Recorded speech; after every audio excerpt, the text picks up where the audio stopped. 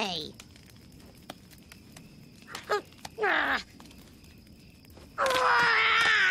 are you bombarding me with your confectionery pop rocks? To show you what it's like to be a monster. Pretend I'm a freaked out human screaming at you in fear. Pretend I'm an earth animal chasing you away from your first safe hiding spot. Pretend I'm an angry green gem trying to poof you. This is life for you now. Endless suffering. Ah!